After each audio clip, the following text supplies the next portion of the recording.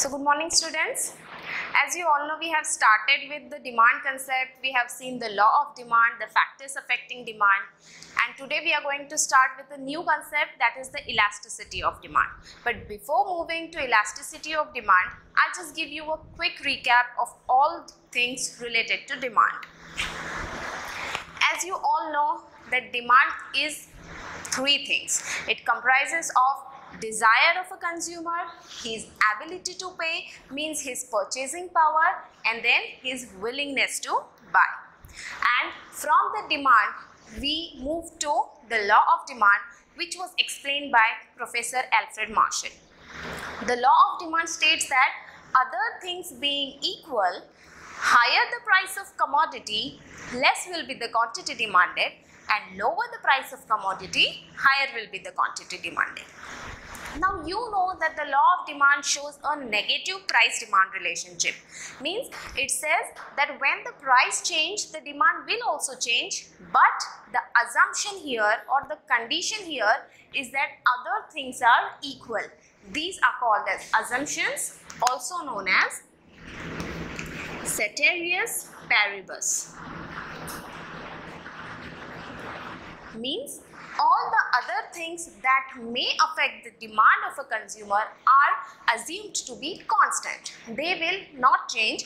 The demand will only change as a result of its price. Okay. After that we saw various other factors also which affect the demand. So when you plot this relationship of law of demand on a curve, you will get a demand curve which is downward sloping. So, like I told to you earlier also, when you talk about any curve which slopes downward, it indicates a negative relationship. So, this is what you have to remember and also you have to write it in your answers. It is a negative relationship. Okay? Moving forward, the other factors that we saw that affect the demand might have positive relationship or might have negative relationship. Like when you say income, you know that income increases the purchasing power of a consumer.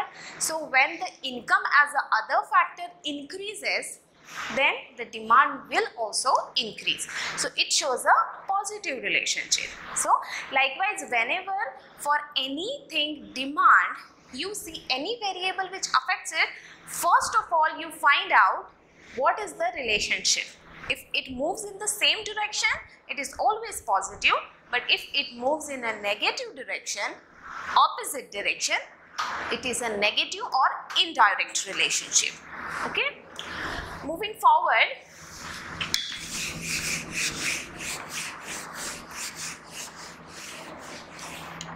let's see what are normal goods and what are inferior goods. Now, when you say inferior goods, you always mean that these are those goods which are the cheapest goods available in the market.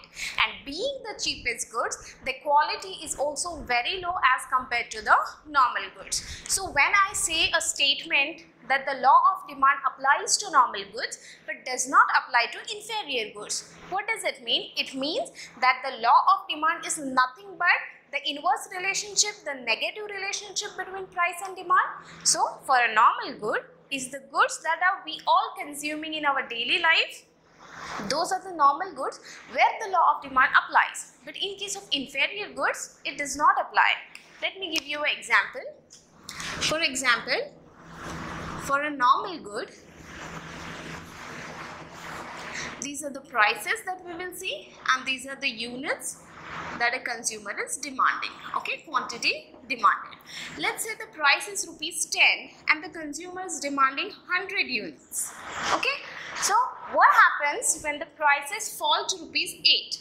Now we know as per law of demand, higher the price of commodity, less is the quantity demanded and lower the price of commodity, more is the quantity demanded. So it is lower, it has decreased, so this will increase. Obviously say for example it will become 160 right? But what happens when the prices increase from 10 to rupees 12 obviously the quantity will decrease. So maybe it is 80 right? this is the normal good scenario. Means this is the law of demand scenario. But I was talking about inferior goods. Let's talk about inferior goods.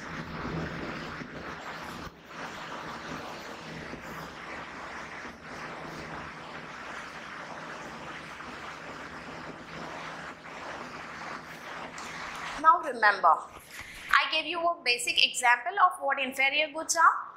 Those goods which you get in a rationing shop or a public distribution shop. What happens there? For example, the rice is 50 rupees kilo in the regular market. So you will get rice at around 40 or 42 or maybe even lesser price in the rationing shops. But remember that the quality is also low. So when the general price is 10 you say at that time the goods available in the market of inferior goods means say for example at rationing shops are priced at rupees 8. At that rupees 8 consumer is demanding 100 units. So what happens when the price of inferior goods decrease? Now see, here we are trying to understand why the law of demand does not apply to inferior goods. So when I am saying that the prices of inferior goods decrease, it means that correspondingly the prices of your normal goods market is also decreasing. So for example, say that now the goods of inferior nature that is the rationing shop goods are available at 6 rupees. So now as per law of demand, basically when the prices reduce, the demand should be increasing. But let's just stop here and consider that we are the consumers who are purchasing inferior goods. So anyhow for survival purposes, I was spending rupees 8, you know, I was purchasing goods priced at rupees 8 but if my if the prices of the products that I am consuming are decreasing, what will I think? Instead of purchasing two commodities of low quality, I might as well shift to normal good and purchase one quality of higher one good of higher quality. Means here instead of moving to 120, what will I think? Anyways, I was purchasing goods priced at rupees 8. So in spite of purchasing here, now I will shift to a normal good. Means when you say the prices of inferior goods decrease, it indicates that in general market also the prices have reduced. That is why the consumer, a rational consumer, will always shift to a normal good even if he is getting a lesser quantity. So what is happening here? He is decreasing the demand. So see, even the prices have reduced but demand instead of increasing, the demand is also reducing. So this shows that there is a positive relationship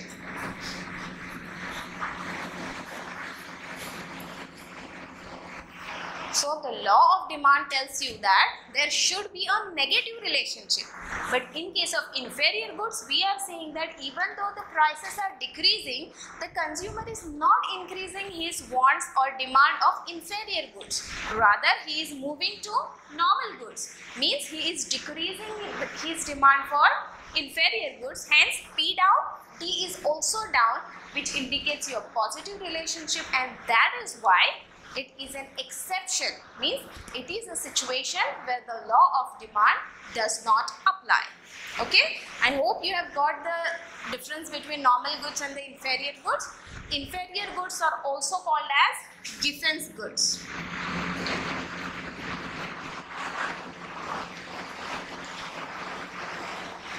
Now Giffen goods is not an economic term it is given for the name of Sir Robert Giffen who introduced this concept of inferior goods. So, it means when the purchasing power or when the income of the consumer increases, he will want to prefer more of normal goods rather than the inferior goods. Okay?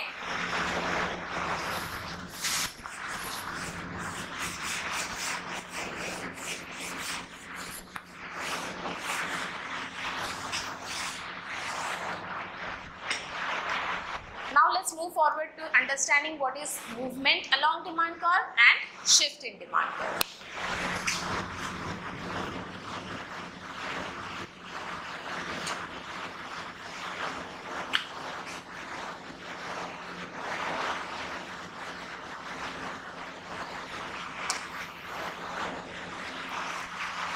So basically, when you talk about movement along demand curve, you are always talking about the law of demand. Means you are trying to understand what will be the change in quantity demanded with change in price. So you all know that if price is the determining factor, the demand will be opposite. So for understanding movement along demand curve or how does a demand curve move along the graph, we are going to consider two elements of movement of demand. First is the expansion of demand.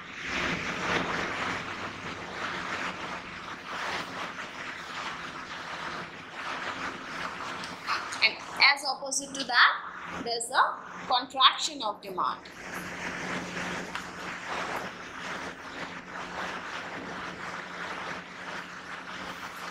So as the name indicates, when you say expansion, you mean that the quantity demanded is more or it is increasing.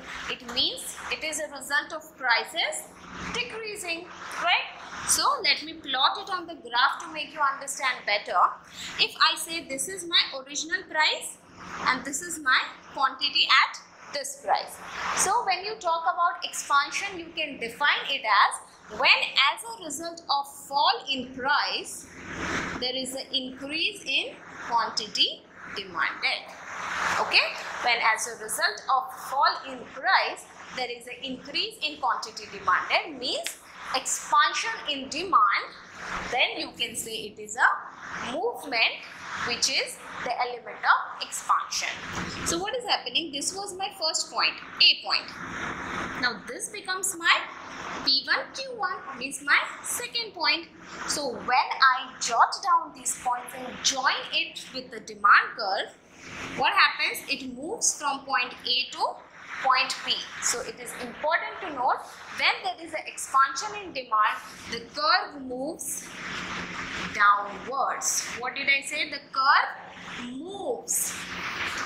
It moves from A to B. The curve is not changing its place. It is just moving from point A earlier to point B where there is a expansion of demand. Now, as opposed to this, in contraction of demand, what will happen? We know that in contraction of demand, obviously, the quantity demanded is going to be decreased. It's going to be less. But what is the causing factor of this less quantity demanded? It might be the rise in price as opposed to this. So, let me plot this on the graph. Let's say for example, this was your P and Q, your initial quantity demanded at the given price. So what's going to happen if the prices are going to rise? If the prices are rising now, the consumer is very reluctant to buy. So what he will do, he will cut down on his demand. Means the demand is going to be contracted. If demand is, the quantity demanded is less, it gives rise to contraction. So what happens? This was my initial point A and now this is my another new point B. So when I jot down this with the help of a demarker, you can see that the curve moves from point A to point B, indicating that the slope is nothing but upwards. Right? So, when you talk about movement, you basically talk about two things that is expansion in demand, contraction of demand. In expansion of demand, it moves, the demand curve moves downwards from left to right, whereas in contraction, the demand curve moves upward because your quantity is decreasing. So, it is right to left, from right to left. Okay. Now let's talk about the second element of change in demand that is nothing but shift in demand. Just remember that in movement you consider change in price means you always consider other things to be constant. The movement is always related to your law of demand.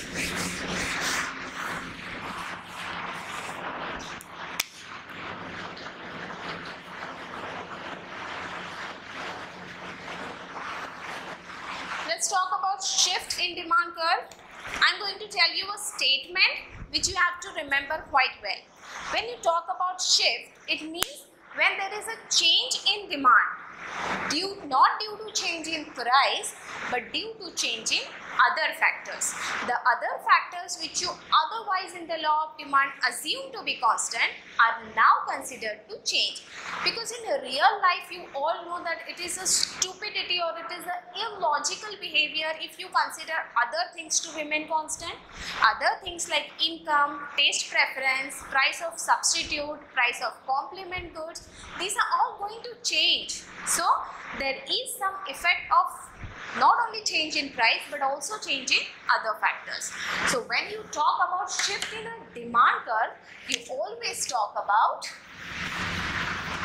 change in other factors. So even if you don't have the definition written somewhere, you can put it logically in your mind that when you talk about movement, it is law of demand means you are talking about change in price. The other element is shift when you're not talking about price but you're talking about changing other factors. So the two elements of shift in demand are first is increase in demand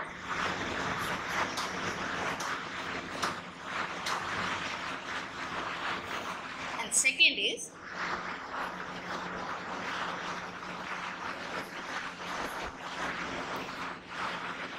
decrease in demand.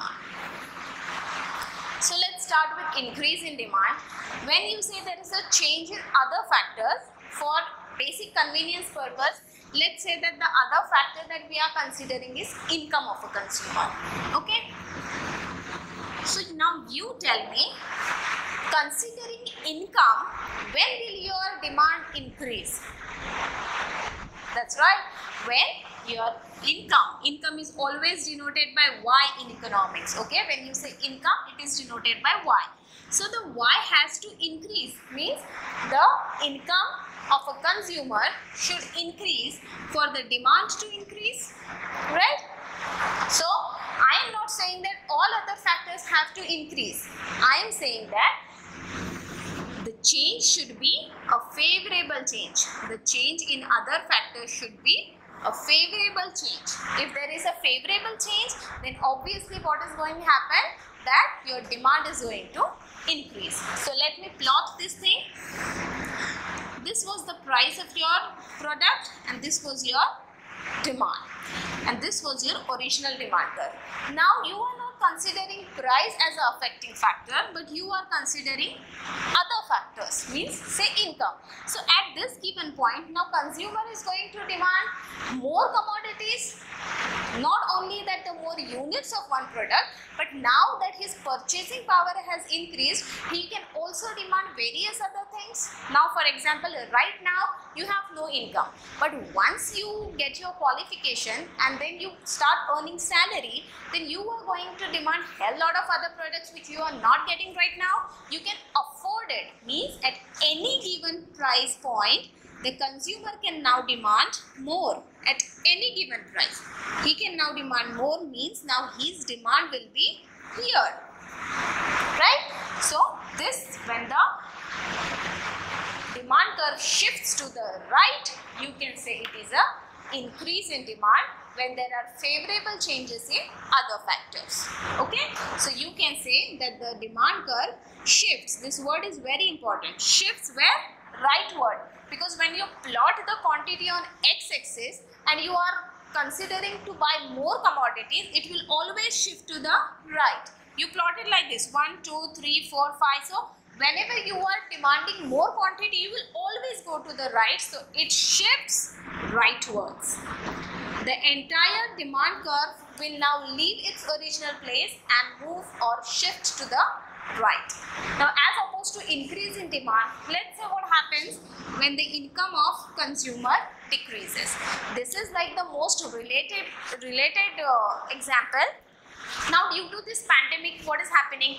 People are people are losing their jobs or maybe those who are in the job are getting run down on salaries. What is happening due to all this? The consumers are now willing to cut off on their comforts or cut off on their luxury products. And they are very tight on the budget and they just want to purchase whatever is necessary for their survival which means that the demand of a consumer is ultimately decreasing due to in decrease in their income. Means these are the unfavorable times. So when there is an unfavorable change in other factors you can say that there is a decrease in demand.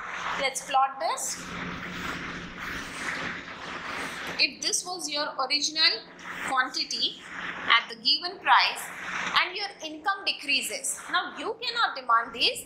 Now what you will do at every given price point you are going to consume less and less. Means these are the decrease in demand. So your demand curve new demand curve will shift to the left. Your demand is not decreasing or not becoming less due to the affecting changing factor of price. It is due to unfavorable changes in other factors. So the demand curve shifts to the left. It shifts leftwards. So this is the basic difference between shift in demand and movement in demand. When you talk about movement in demand, you always talk about the price as the affecting factor. And when you talk about shift in demand curve, you talk about changing other factors. Here, for example, we have taken as income. Okay.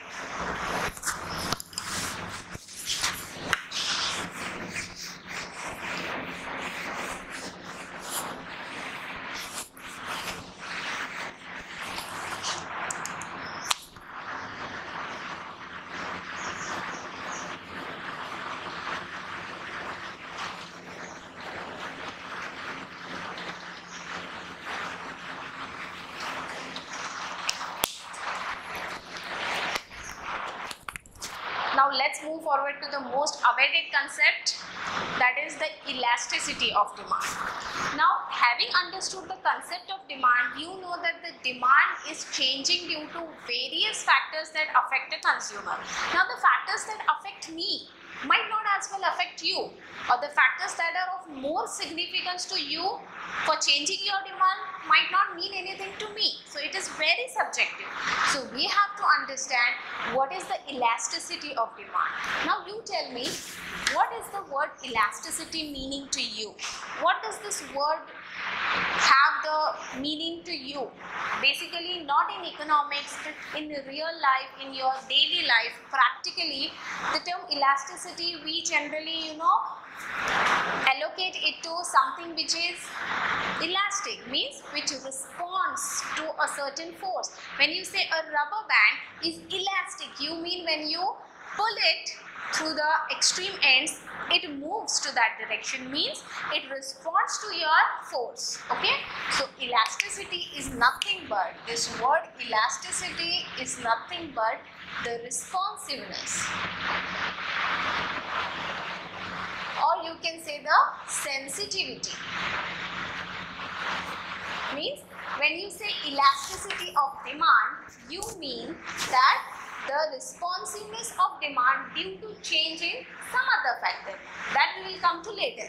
But when you say elasticity you always mean responsiveness or you mean sensitivity means given a factor if the demand is responding to the change in that factor or is it sensitive to change in that factor? And if it is sensitive how much sensitive it is? This all is the scope of your elasticity. Now without further ado let's get started with the first type of elasticity that is the price elasticity of demand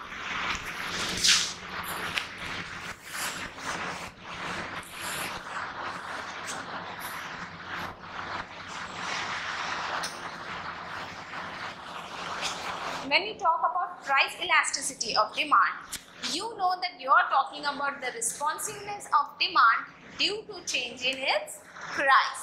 Okay, so when you talk about price elasticity, you know that the law of demand will apply. But now we are going to talk about how does it affect in how many types will the demand respond to change in price. Now, the first type of price elasticity is perfectly inelastic demand.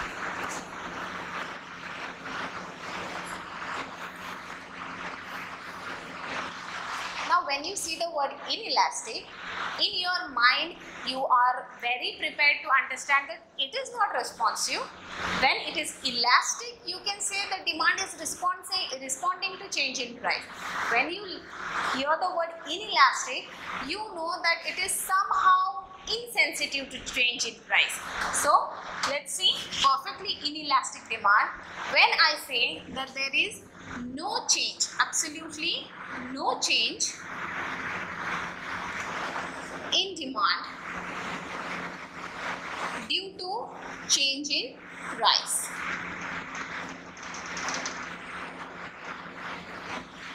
Now here just remember that instead of writing this entire thing you can do this delta. Delta means change. When I am saying there is no change in demand but there is a change in price means irrespective of the change in price the demand is not changing. This is called as perfectly inelastic demand. Means for example let's say this is your given price. At this given price this is your quantity demanded. Right? Now what happens when there is a change in price? If it is increasing means it is here P1 or let's say it's decreasing. It's here. P2 so what is happening? As per the law of demand you think that higher the price it should be here. Lower the quantity demanded and lower the price more should be the quantity demanded. But this type of elasticity says that there is absolutely no change in quantity demanded even if the prices are changing means irrespective of the change in price there is no change in quantity demanded means the quantity demanded is still going to be QD. So here there is absolutely no elasticity means the elasticity is zero. And this is your demand curve. The demand curve is vertical and parallel to y-axis. Now you will say that in the law of demand you taught us that higher the price, lower is the quantity demanded and lower the price, more is the quantity demanded. Then how come you are saying that irrespective of change in price, the quantity demanded is not changing? See, I'll give you an example and you will understand it a lot better. Salt. What happens if the salt prices of salt increase? You are going to buy more quantity of salt and keep eating salt all day? Is it possible? No. You will still purchase same quantity of salt. What happens when the prices of salt increase? When the prices of salt increase, you're going to cut down on salt. You're going to tell your mom not to put salt in some food. It's not possible. Still, you will have to purchase the same amount of salt. Same quantity of salt. It also applies to medicines. So in short instead of giving one particular product as an example i can tell you that the perfectly inelastic demand applies to all commodities which are of necessity to the consumer. Which are necessities to the consumer those commodities a consumer will have to demand irrespective of the change in price. Even if the prices of necessities decrease, you won't go and buy like huge quantities. You will still prefer as much as is necessary for your survival.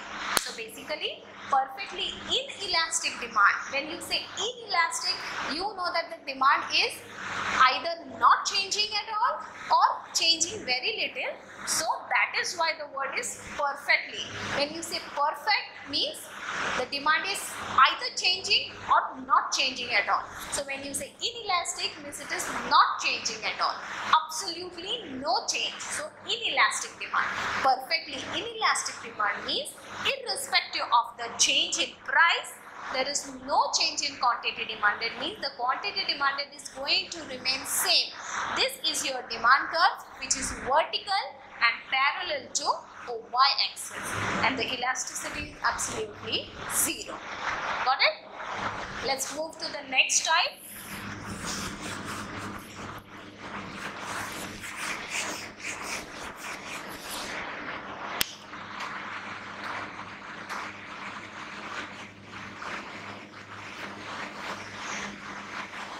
Next type is relatively inelastic demand. When you say perfectly inelastic, you know that the demand is not changing. Now you are saying relatively inelastic demand means the demand is going to change but it is still inelastic means at a very less proportion. So when you say relatively, it is not absolute means it is a relative term means it is a proportionate value. So here we can say when the proportionate change in quantity demanded is less than the proportionate change in quantity demanded is less than the proportionate change in its price. Now here while writing this you don't have to mug up. You know it is inelastic so it is going to be less and it is relatively inelastic means it is going to be less than the change in price.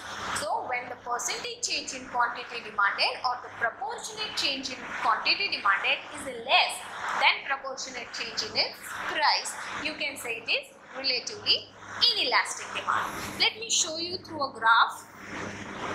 For example, let's say this is my price and this is my quantity. Now what happens if the price of this product falls by let's say 20%? My quantity I see that is only changing by a little, let's say 5%. It is definitely with fall in price. It is increasing definitely as per the law of demand but it is increasing at a very very less proportion. Means the percentage change in quantity demanded is less 5% then proportionate change in price that is 20% so when i draw the demand curve it's going to be very steeper. It's a steeper demand curve. Right? And the elasticity is the quantity demanded is less so you can say that the elasticity is also less than 1 1 is the constant that you allocate to price elasticity for understanding.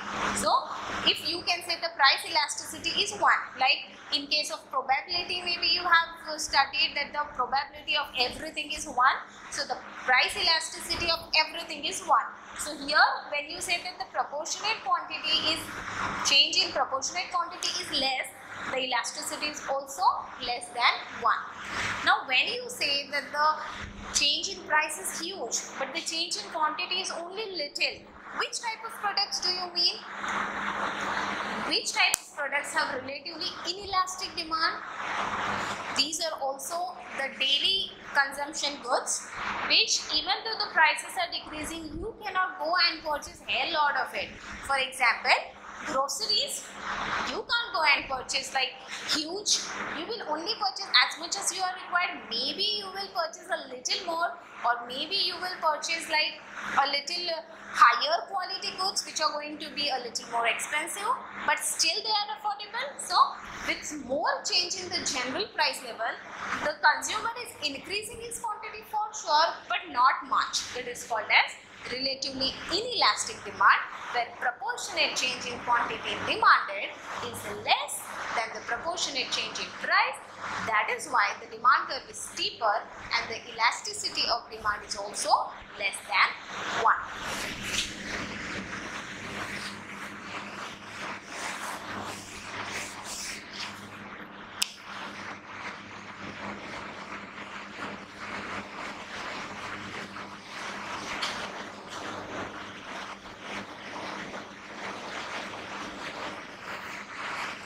Now your type 2 elastic.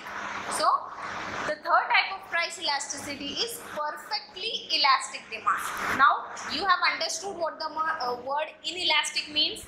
If it is perfectly inelastic, no change. If it is relatively inelastic, it changes but very less. So when you say elastic, you know it's going, going to change. But when you say perfectly elastic, you means that the price may change or might not change but the quantity is going to change which means that the quantity demanded is definitely going to change whether the price changes or not. Means, let's say my price is P and my quantity demanded is QD. So, now I am saying from QD it can go to Q1 or from QD it can go to Q2. But why the prices prices are not changing? So this is the concept what I am going to teach you is perfectly elastic demand. Means the quantity demanded there is an infinite change in quantity demanded irrespective of change in price. Means not due to change in price but definitely due to change in other factors. So this the, on this particular line the quantity demanded can be anywhere. But the changing factor of this quantity is not price. So whether price changes or not my quantity demanded is going to change to an infinite level means it can either increase or decrease right so i can say that my elasticity is also infinite and the demand curve definitely as you can see it is horizontal and it is parallel to x-axis. Now it is very uh, difficult to know this after studying the law of demand that price is not changing then how come the quantity is varying so much? We have seen in shift that the other factors also have the capacity to change the demand of a consumer. So the basic example of this is seasonal goods. Like it's monsoon now, so now you are purchasing umbrellas, raincoats, rainy sandals and stuff, right? But what happens when the season shifts? What happens when you move to winter? You may not purchase these monsoon related products but they still exist in market. Means if you're going to some other place where there is monsoon, so you'll go to market and you'll demand an umbrella. What will he say? No, no, it's winter so we don't sell umbrella. No, they might have the umbrella. So it means that when you shift from one season to another, you are not changing your demand because the prices have changed. You are changing your demand due to change in the season is the other factor, right? So when there is an infinite change in quantity demanded, not due to change in price, but due to change in other factors. So while telling or while explaining the elasticity of demand, you will always write your answer in respect to price. So you will write when there is an infinite change in quantity demanded with no change in price. At that time your demand is perfectly elastic demand means it's perfectly elastic. It's going to stretch means it is horizontal right. So the elasticity is infinite and the demand curve is horizontal and parallel to x-axis.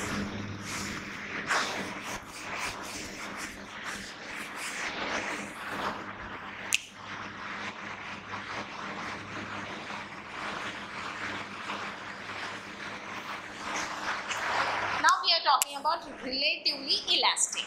Now I'll just give you a moment and you think about it. What perfectly inelastic meant and perfectly and relatively inelastic meant. Now you tell me what is relatively elastic. Definitely it is when percentage change in quantity demanded or proportionate change in quantity demanded is greater because it is elastic. It is greater than proportionate change in its price.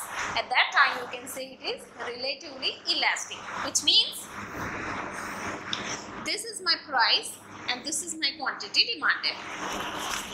Now what happens if the prices just fall by let's say 10%?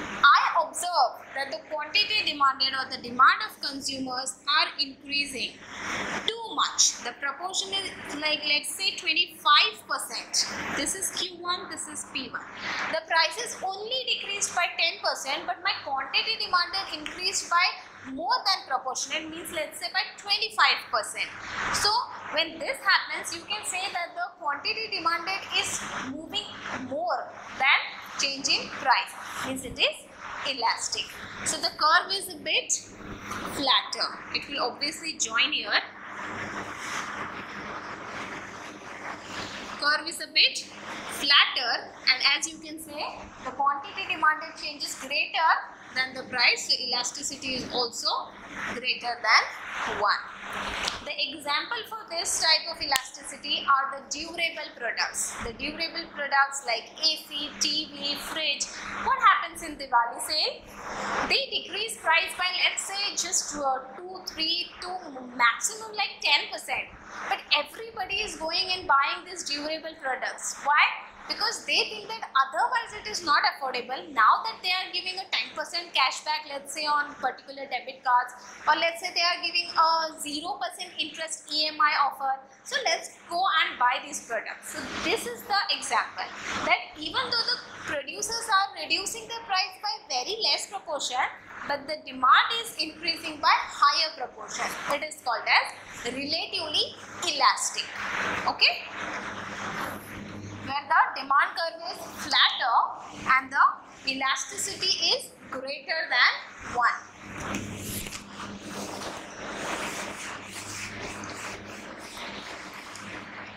Now I will just put all four of the curves in one line so that you understand.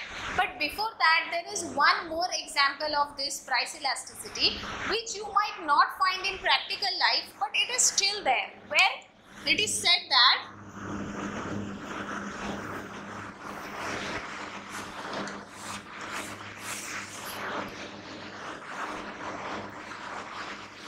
if this is the price and this is the quantity and the price let's say decreases by 10%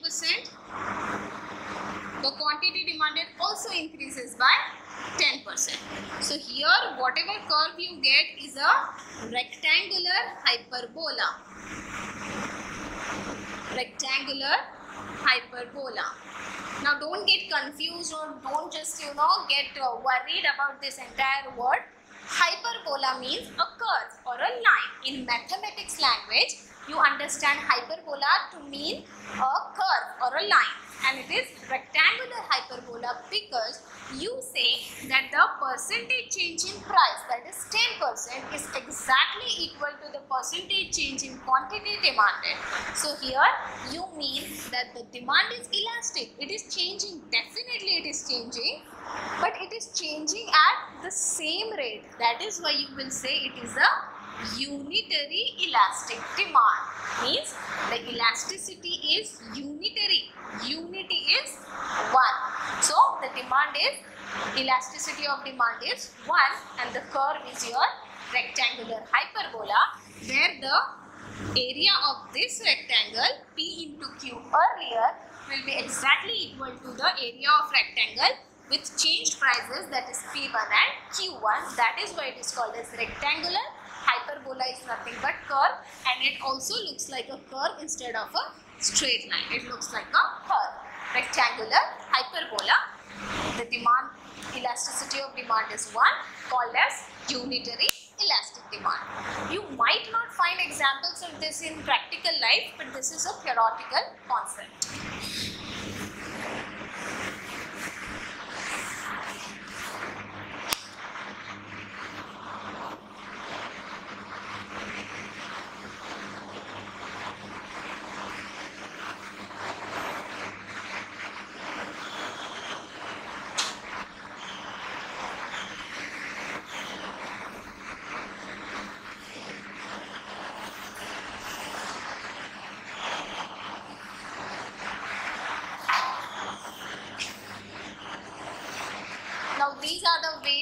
Types of curves.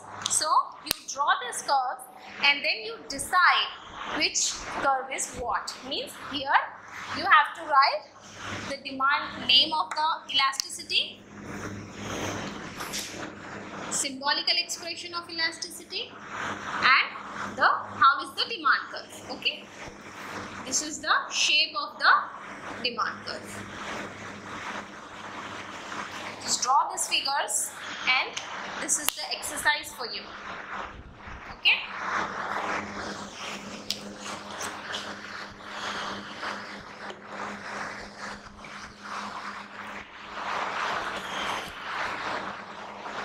Okay. So this was our lecture today for understanding the elasticity of demand. Okay, so now you go back to understanding the concept of demand and the nature of price elasticity of demand. These are just the types of price elasticity. These are not the types of elasticity.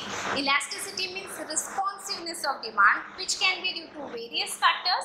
The first type that we have studied is the price factor. So you say price elasticity of demand and these are the five types of elasticity where you can say when it is perfectly inelastic it is this vertical it's not changing. When it is relatively inelastic it is changing a little bit so it is steeper. When you say perfectly elastic means it is horizontal. When you say it is perfect relatively elastic. So this horizontal changes a little becomes flatter. Okay? I hope you understand this and make proper notes. Okay? Thank you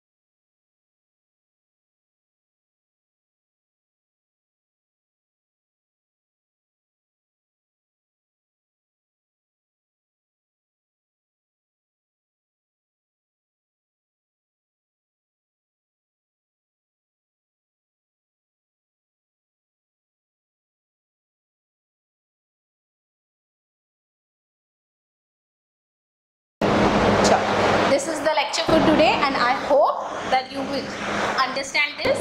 I hope you understand this and make proper notes. Okay? Thank you.